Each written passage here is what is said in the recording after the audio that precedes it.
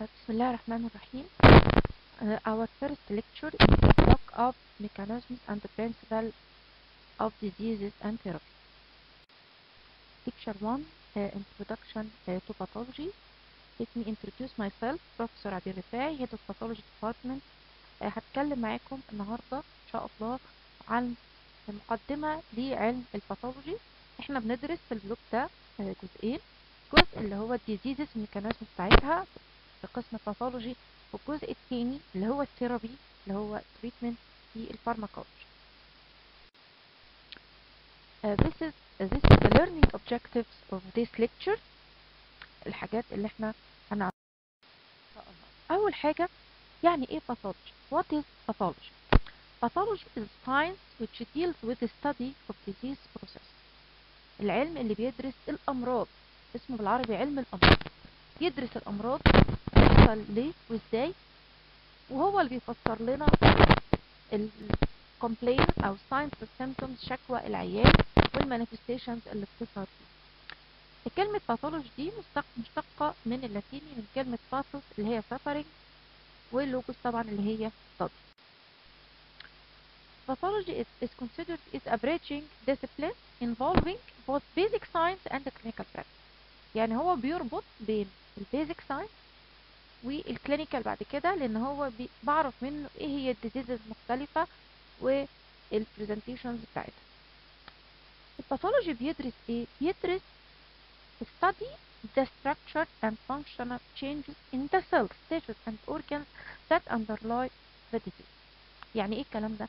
يعني هو بيدرس ال changes اللي بتحصل سواء في التركيب في ال structure أو في ال function في الوظيفة بتاعت سواء cells أو tissues أو organs اللي بتؤدي إلى حدوث ال disease أو اللي بيحصل فيها ال disease أو المرض وبالتالي pathology can explain why the signs and symptoms occur ليه العيان بيجي بال manifestations دي وال findings اللي بشوفها.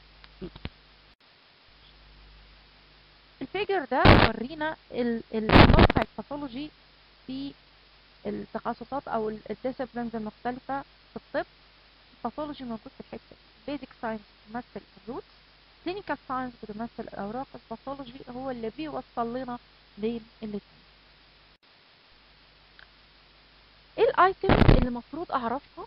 To study any pathological process أو any disease. أي disease في الدنيا في حاجات معينة items معينة لازم تفصل عشان أقدر أ study disease ده. أول حاجة definition. تعريف المرض. Each disease has a definition. For example المنظر اللي إحنا شايفينه ده في هنا pathology المريض ده هنا برضه في pathology ده عبارة عن إيه؟ عبارة عن نوع من أنواع الالتهابات اسمه abscess أو الخراج. الخراج ده تعريفه دمل يعني عبارة عن إيه؟ عبارة عن localized suppurative inflammation. إحنا هنفهم طبعا معايا كده لما ندخل في ال course. كان يبقى أول حاجة أحط ال disease ده في category معين أو أعرفه واقول عليه أقول هو إيه. تاني حاجة بدرسها في ال disease ال etiology ال etiology اللي هو ال cause. causes أو أسباب ال disease ممكن أقسمها لمجموعتين أساسيين. يا إما predisposing factors يعني أسباب مهيئة يعني حاجات بتساعد المرض إن هو يحصل لكن مش هي السبب الرئيسي. زي إيه؟ أنا دلوقتي لو عندي ال skin بتاع ايدي ده continuous ما فيهوش أي جروح أو abrasion أي مشكلة ده هيبقى protection ليا من دخول ال organisms المختلفة. لكن لو حصل عندي small abrasions في ال skin يعني جروح صغيرة أو قطع صغير في السكين ده هيسهل دخول ال organism وبالتالي هيسهل حدوث ال abscess أو الخراج. يبقى هنا وجود ال abrasion دي عبارة عن predisposing factor لل inflammation أو للالتهاب اللي هيحصل لكن السبب الأساسي اللي بيسبب المرض بقول عليه direct cause أو ال cause الأساسي لحدوث ال disease وده ممكن يكون حاجة من يا إما exogenous يعني أسباب خارجية outside the body زي ال organisms المختلفة بكتيريا viruses parasite وات أو endogenous يعني من داخل الجسم نفسه وده example ليه مثلا autoimmune disease أو أمراض المناعة الذاتيه يا إما predisposing factor بيهيئ الطريق للمرض إنه يحصل يا إما direct cause ال direct cause بقسمه يا إما exogenous or endogenous بحط ال diseases المختلفة في واحد من ال categories اللي هقول لكم عليها دلوقتي على حسب ال causes بتاعتها. اولا في نوعين كبار يا إما disease ده يكون congenital يعني العيان مولود فيه يا إما acquired يعني اكتسبه بعد الولاده ال acquired أي disease في الدنيا مش هيخرج بره واحد من هذه الأسباب. inflammatory يعني التهابات أنواع من الالتهاب. vascular يعني diseases في blood vessels أوعية دموية. Growth disorders حاجات ليها علاقة بال growth من ضمنها ال tumors أو الأورام المختلفة metabolic diseases related لل metabolism بتاع ال cell degenerative يعني في حاجات بتعمل degeneration أو بتعمل loss أو death لل cells زي ما هندرس بعد كده. drug induced يعني بعض ال drugs آه بتعالج لكن بعضها التاني ممكن يعمل side effects هي نفسها تسبب some side effects وامراض تانية. و infective يعني نتيجة إيه؟ التهاب أو عدوى بميكروب معين عملت التهاب ال item اللي بعد كده يبقى إحنا عرفنا دلوقتي أي disease هدرسه هعرف أول حاجة ال definition بتاعه. تاني حاجة هقول ال causes predisposing factors بتاعته وال direct cause بتاعته.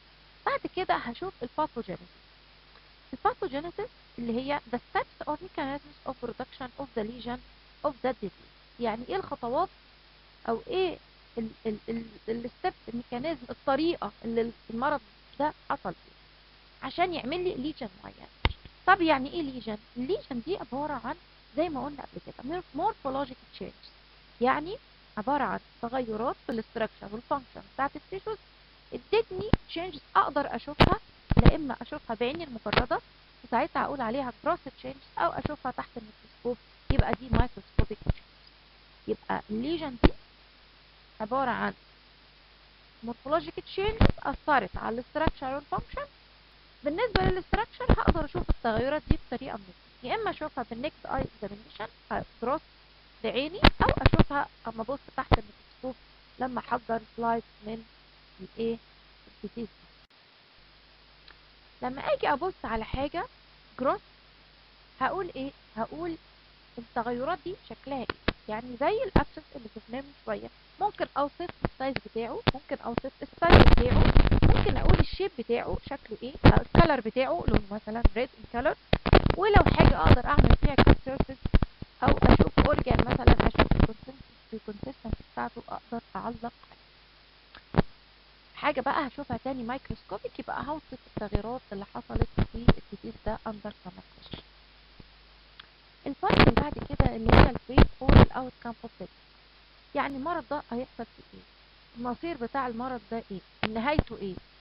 ال fate ده ممكن يكون regression وده good fate أو progression regression يعني المرض هينتهي والعيان هيخف يبقى ده good fate طبعا. يا إما progression يعني هيحصل إيه؟ يعني هيحصل زيادة ويحصل يحصل complication complications اللي هي المضاعفات. وده أسميه bad fate ال complications اللي هي clinically بتحصل أو clinically بتحصل للمرض لما يبدأ العيان إيه؟ لما يخفش يبدأ يدخل في complications أو انضاء طيب أمال يعني إيه كلمة prognosis prognosis بقى هو ال prediction of how the patient disease will progress.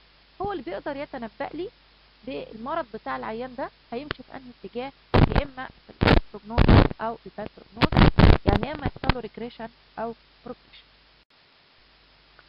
هنا لما نبص في this figure نقدر نعلق على ال graph بقى. هو ده اللي أنا بقول كنت بكلمكم عليه. هنا في pathology قادرين نشوفه ال toe أو الصباع بتاع المريض ده في تغير. أقدر أعلق على التغير ده من حيث ال size بتاعه ال size بتاعه ال color بتاعه. أقدر أوصف الحاجات دي كلها. هو ده ال gross finding بتاعة الايه ال pathology اللي موجود في العيان ده. لو أنا الحالة دي تستدعي إن أنا آخد منها عينة أفحصها تحت الميكروسكوب يبقى هوصف بقى التغيرات اللي بتحصل في ال patient ده under the microscope يبقى ال pathology هي study إيه؟ أول حاجة ال etiology أو ال causes بعد كده ال mechanism أو ال pathogenesis بعد كده ال morphologic changes اللي إحنا قلنا عليها يا إما تكون structural أو functional وال functional وال structure change دول هم اللي هيعملوا لي ال clinical picture بتاعت العيان اللي هي signs and symptoms of disease يعني إيه كلمة sign يعني إيه كلمة symptom ال symptom ده اللي هو شكوى المريض اللي بيجي يقولها لي يبقى subjective complaint of the patient. يعني هو بيجي يقول لي بيشتكي من صداع بيشتكي من loss of appetite ملوش نفس ياكل weakness headache tooth ache سنان وجعاه whatever. يبقى ال symptom هي الشكوى اللي ال patient بيجي يشتكيها لكن ال sign دي حاجة objective يعني الدكتور هو اللي بيشوفها. زي إيه؟ ascites عيان عنده استسقاء يعني عنده مية في بطنه. cachexia عيان خاسس خالص زي الناس اللي بنشوفهم في المجاعات كده بايه فيري ثين كاف طبعا ال cough ممكن تكون العيان يشتكي منها ممكن أنا أسمعها وليها characters معينة أعرفها من العيان. organ enlargement يعني عيان جاي بيشتكي مثلا هو مش هيقدر يشتكي لكن الدكتور لما يفحصه هيلاقي عنده تضخم في الكبد تضخم في الطحال وكده يبقى اتفقنا ال symptom دي عبارة عن شكوى. المريض انما ال sign دي حاجة الدكتور بيشوفها للعيان طيب نطبق الكلام ده بقى. لو إحنا شايفين هنا ده اللي في الناحية اليمين ده عبارة عن ال normal heart اللي في الناحية الشمال ده heart فيه pathology إيه اول حاجة تخطر في بالي لما أشوف ال two عندهم أو إيه ال gross pathology الموجود فيهم أيوه واضح جدا إن ال heart اللي في الناحية الشمال ده enlarged أو كبير لما قارنته بال heart ده. هبدأ بقى أمشي بهذا المنوال نفس الكلام. أنا قلت هنا في enlargement لو لو ال heart ده طبعا هقدر أفتحه وأشوف ال findings اللي فيه الثانية وأعلق عليها على حسب إيه ال disease اللي ده other example عشان يورينا الفرق في ال gross في ال normal وبين ال pathology اللي تحت دي عبارة عن appendix اللي هي الزايدة ما فيهاش أي pathology هنا الزايدة وهي فيها inflammation. appendicitis التهاب في الزايدة جديد واضح جدا إن حصل increase في ال size حصل irregularity في ال shape حصل في أجزاء معينة سكت هندرس بتاعها بالتفصيل بس إحنا في ال level ده بس عاوزين نعرف إن إحنا ممكن لما نبص على ال organ grossly نقدر نعرف ال organ ال normal من ال organ اللي ممكن يكون فيه إيه abnormalities ونقدر نوصف abnormalities. بعد كده هاخد microscopic section من العينة دي وافحصها بقى تحت الميكروسكوب. أطبق الكلام ده وأشوف إيه ال microscopic finding لحد ما أوصل لل diagnosis طيب why we study pathology أو what is the objective of studying pathology أول حاجة ال pathology describe to medical students the disease process to be able to correlate the clinical manifestation يعني تقدر تربط بين clinical manifestation الأعراض اللي عند العيان وال pathological change اللي بتحصل في ال diseased organ دي أول حاجة. تاني حاجة to predict the course and outcome. بقدر أعرف ال prognosis بتاع العيان ده إيه؟ من ال various diseases لأن أنت لما هتدرس ال pathology بتاعه هتعرف المرض حصل إزاي وبالتالي تقدر تعرف هو ممكن يتعالج إزاي وتقدر تعرف برضو العيان إيه ال outcome بتاعه؟ النقطة الثالثة to realize the role of histopathology and diagnostic cytology in diagnosis and treatment of. طبعا في diseases كتيرة جدا جدا لا يمكن تتشخص غير عن طريق ال histopathology أو ال cytology ده جزء ال pathology هقول لكم عليه بعد شوية. فبالتالي الدور بتاعهم أساسي عشان أوصل يعني عيان عنده ورم ما إحنا مش قادرين نعرف الورم ده حميد ولا خبيث طبعا هتفرق. فلما يتاخد عينة pathology وتتفحص تحت الميكروسكوب ال histopathologist أو ال pathology بيقدر يحدد العيان ده عنده إيه؟ ده ورم حميد يبقى هيمشي في سكة علاج ده ورم خبيث هيمشي في سكة علاج تانية. وبالتالي أبقى قادر في الآخر من كل ال data اللي عندي أوصل لل correct التشخيص السليم لل طيب إيه بقى الطريقة اللي بندرس فيها ال pathology طبعا عندنا lecture في عندنا section هتشوفوا لما هينزل لكم ال sections إحنا عندنا two types ال sections في ال module ده. يا إما museum specimen المتحف بيبقى فيه عينات دراسة زي الحاجات اللي قلتها لكم ال heart اللي كنت شوية أو ال appendix. أقدر أبص عليها وهي محفوظة في ال jars بتاعتها في الفورمالين وأقدر أعرف اوصف ال findings اللي فيها. تاني حاجة ال practical sections اللي هي microscopic slide هتبص على تشوفوا examples على ال diseases المختلفة اللي أنتوا طبعا في tutorial class portfolio office hours و internet دي كلها حاجات بتساعدني to study إيه بقى؟ إحنا عندنا ثلاث حاجات أساسية. أول حاجة ال biopsy اللي هي عينة بتتاخد من المريض living person أو living patient. في operation room. العيان عنده ورم معين عنده pathology معين الدكتور بيقول له روح خد عينة. بيروح في غرفة عمليات بيتاخد منه عينة. ودي بسميها biopsy الحاجة الثانية اسمها cytology diagnostic cytology.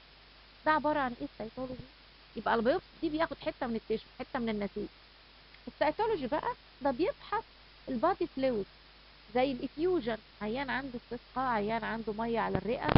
ال sputum ال urine CSF سيرفيساينا fluid ال fluids المختلفه دي فيها أنواع من الخلايا بتساعدني في تشخيص الامراض المختلفه ده بسميه diagnostic cytology ثالث حاجة اللي هي ال autopsy اللي هي post mortem examination اللي هو ال examination of specimens removed from the dead body في البوست مورتم طبعا يعني مش هنقدر نشوفها لكن في عينات من الموجودة عندنا في المتحف مستخدم من العيانين طبعا مورتم زي لو شفت مفيش حد هياكل من غير الهارت بتاعه. تبدأ بوست مورتم اكزامينشن بسميها إيه البوست مورتم اوتوبسي يبقى عندي بايوبسي سيتولوجي and autopsy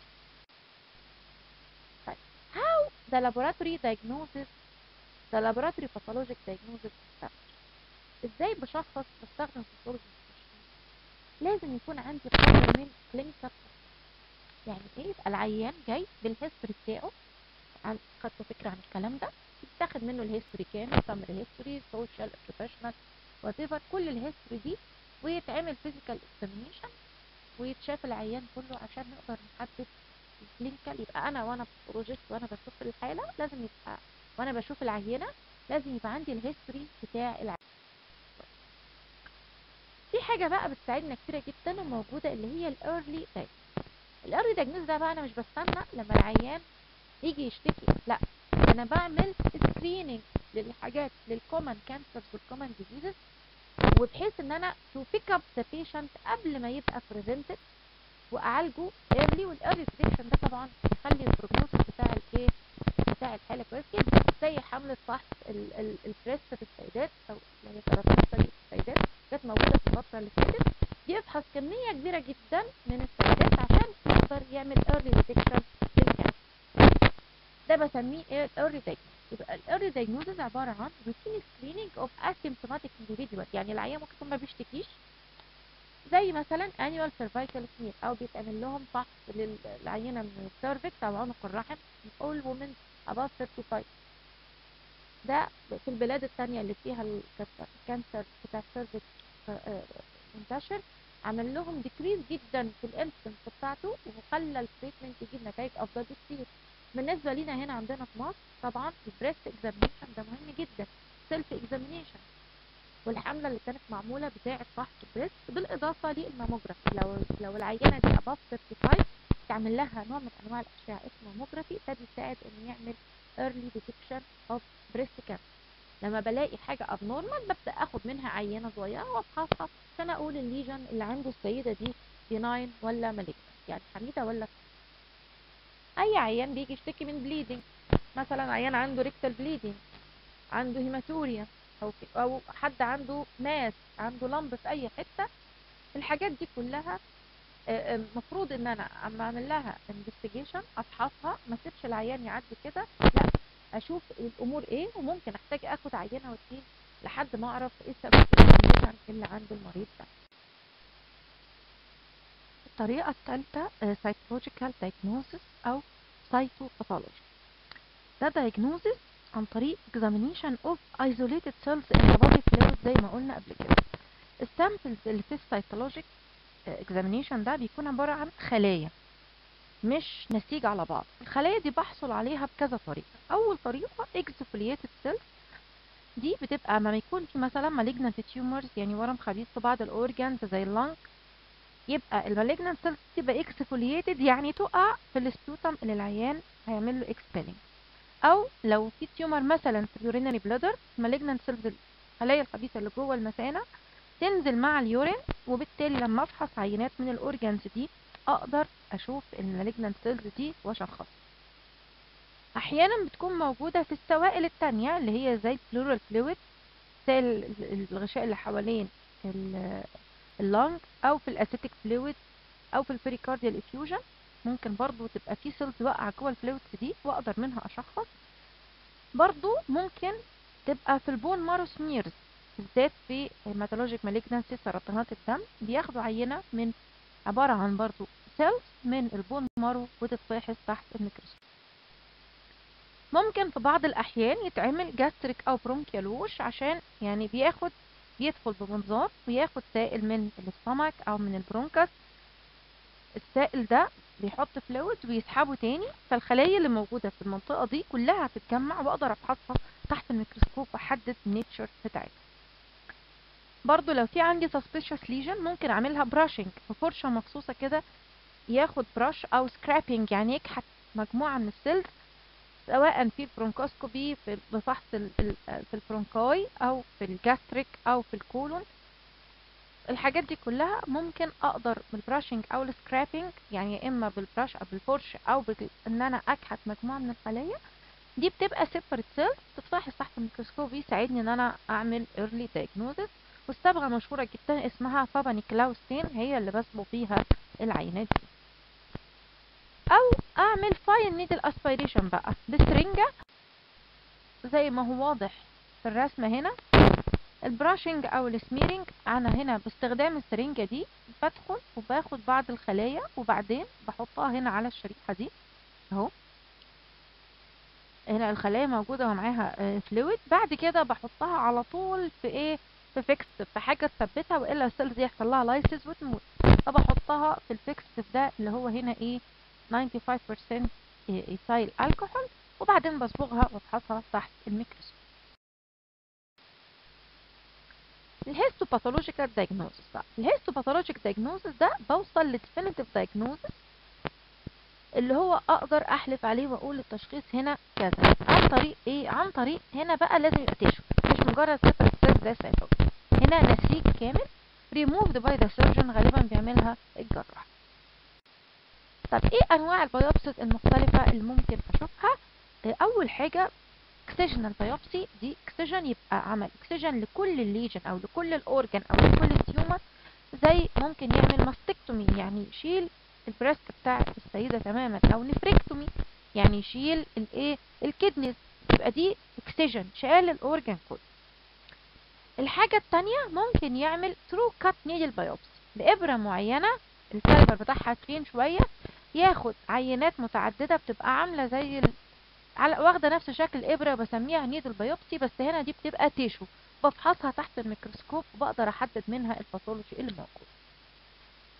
الطريقة الثالثة اسمها incisional biopsy ال incisional أو ال punch بياخد حتة صغيرة من ال lesion بس مش بيشيل ال lesion كلها زي ال excisional فبيبقى عمل incision عشان كده سميتها incisional biopsy ممكن في ال oral cavity في ال nose أحيانا بقول عليها punch biopsy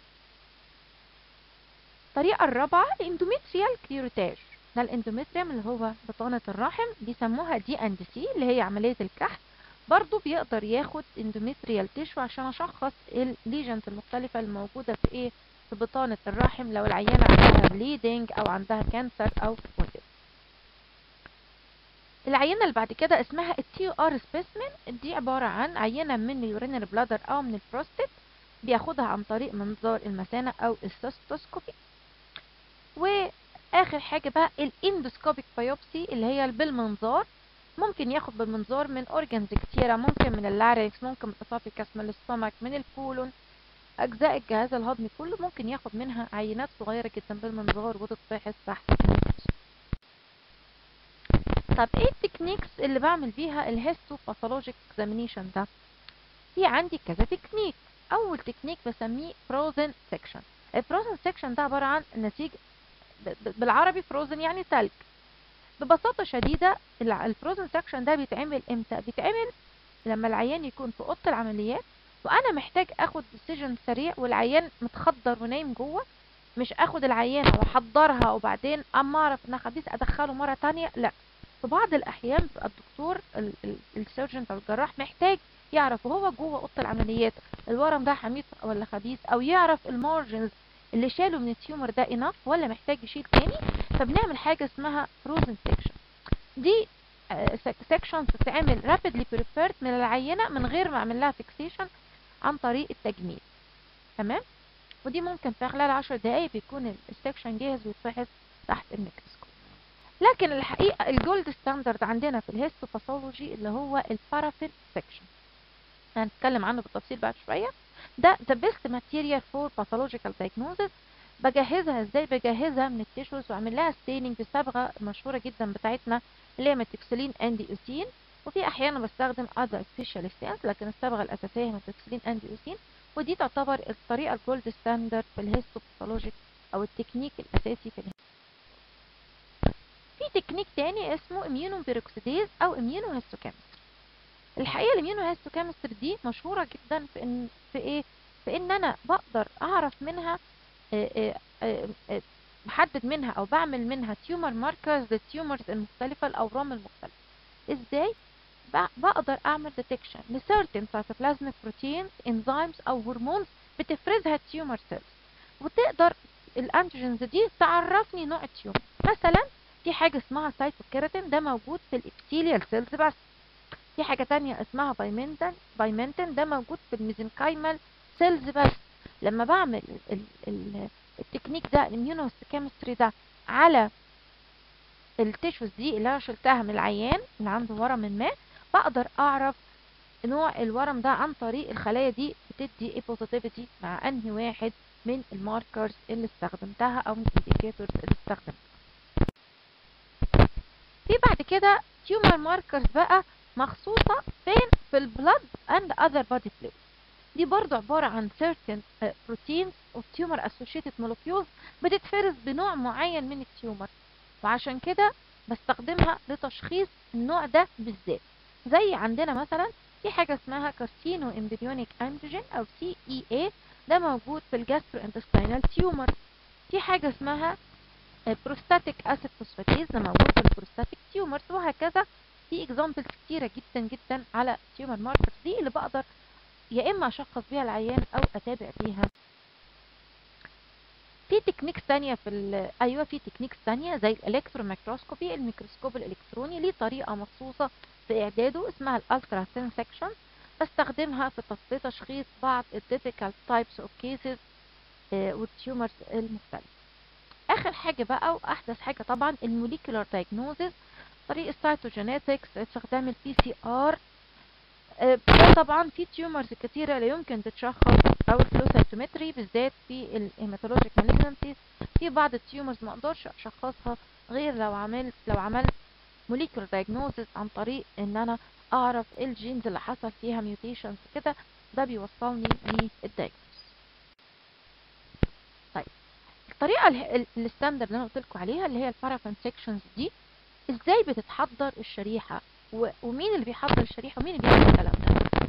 أه تبقوا عارفين بالنسبة ال pathology ده يعني زي ما قلت لكم من شوية ده mix كده من ال academic وال clinical فبالتالي إحنا عشان نحضر العينات بتاعة ال patient دول لازم يبقى عندنا معامل في المستشفى.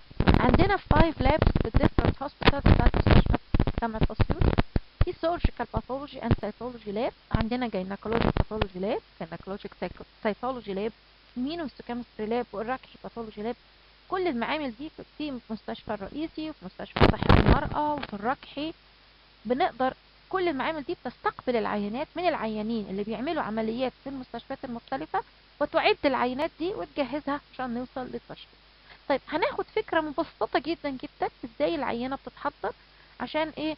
يبقى عندكم أي أي عيان مفروض دخل عمل operation تشال جزء من ال tissue بتاعه المفروض يتبعت for histopathology عشان أشوف العيان ده كان عنده إيه وأثبت ال diagnosis بتاعه ال first step العينة لما تيجي. طبعا دلوقتي لو في عينة اتشالت لازم أحطها في suitable clean containers زي ما أنتم شايفين في الصور. دي أشكال مختلفة لل containers ال containers دي بتبقى نظيفة و clean clean و, و, و, و وفاضية في الأول أحط فيها العينة ولازم أعمل labeling كويس للعينة دي. يعني أكتب على ال container ده اسم العيان ورقم المستشفى بتاعه وإيه الأجزاء اللي اتشالت و right ولا left وكل ال data الخاصة بتاعة العيان. خلاص يبقى أنا لما هيبقى في عملية هتتعمل هيبقى مجهزين ال container دي بأحجام مختلفة عشان تناسب الأجزاء المختلفة اللي هتتشال. لو شايل جزء كبير هستخدم container كبير جزء صغير هستخدم container صغير وهكذا. بعد كده هعمل step مهمة جدا اسمها ال fixation يعني إيه fixation هضيف على العينة بتاعتي fixative مادة تحفظها. ليه بقى؟ to preserve the specimen from decay and autolysis. لو سبت العينة كده هيحصل لها autolysis هتتحلل.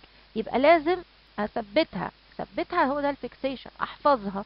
الحاجة التانية إن ال fixative ده بيعمل stabilization لل tissue integrity عشان لما تيجي تتفحص histopathologically تكون الايه تكون محتفظة بنفس ال structure بتاعها.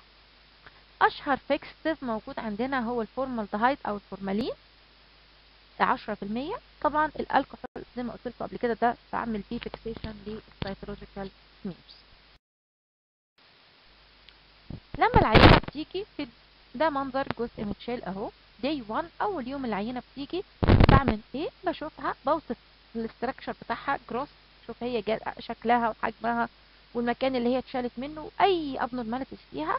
وبعد كده لازم أسيبها overnight fixation يعني أسيبها تبيت لتاني يوم في ال fixative اللي هو اتفقنا الفورمال تاني يوم بقى هاخد representative section ال pathologist بياخد أجزاء معينة الأجزاء دي هو بيحددها على حسب إيه حسب مزاجه. لا طبعا في كتب ودراسات.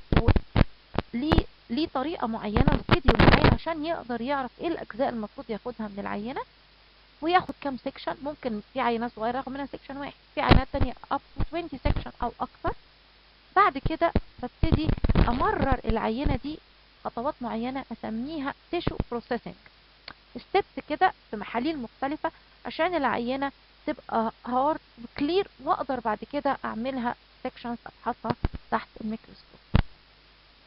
الجهاز ده هو جهاز اللي بتمرر بيه العينة. بعد كده بت بتمر بالخطوات دي. ال containers المختلفة دي فيها different uh, concentrations of alcohol and xylene. بعد ما العينة اتمررت في ال steps المختلفة دي على اليوم الثالث كده بعمل لها embedding in paraffin. في جهاز مخصوص بيحط لها شمع البارافين اللي هو بيحفظ ال blocks دي ويخليها في المنظر ده تبقى النسيج اهو جوه واللي حواليه ده الشمع عشان أقدر إيه اعمل منها السكاشن اللي أنتوا عارفينها. بعد ما عملتها دي بسميها ال blocks بجيب ال blocks دي بحطها على الجهاز ده اللي هو اسمه microtome ده بيقطع لي سكاشن رقيقة جدا جدا بالمايكرون. يقدر يعمل لي قطعات بالمايكرون 4 مايكرون أو 5 مايكرون عشان يتعمل لها staining في الصبغات المختلفة أهو زي ما إحنا شايفين هنا في الصورة دي. بعمل لها staining في الصبغة ال hematoxylin and eosin اللي بستخدمها روتين دي. وتديني بعد كده بعد ما اتصبغت أهي تبقى الشرايح إيه وعليها ال labels بتاعتها عشان تفحص وال pathologist يشوفها ويكتب لنا ال report من المنظر ده تبقى موجودة. وبعد كده على التشخيص في اليوم الرابع أو الخامس ده microscope multi-head اللي بنقعد نشوف عليه مجموعة مع بعض من ال pathologist عشان يقدروا يوصلوا لل diagnosis ويكتبوا لنا ال final pathology report اللي هو التشخيص اللي هيروح للعيان وهيتعالج على أساس. يبقى what does a pathologist do? بيعمل إيه ال pathologist surgical pathology. دكتور يعمل interpretation لل biopsies المختلفة من ال different organs زي ما إحنا قلنا. بيقدر يعمل evaluation لل surgical resection specimens يعني العينات الكبيرة بتتشال عشان يحدد أنواع ال tumors وال margins بتاعتها وحاجات كتيرة قوي هو بيقدر يستخلصها من العينة بتفيد بعد كده الدكتور بتاع ال oncology في العلاج. يقدر يعمل لنا ال frozen section اللي هي العينات المثلجة اللي قلت لكم عليها عشان يقدر يعمل إيه؟ يقدر يعمل intra-operational rapid diagnosis يشخص والعيان نايم في أوضة العمليات بدل ما اطلعه واخدره وانيمه مرة تانية. في النهاية أحب أقول لكم enjoy the study. Pathology and you.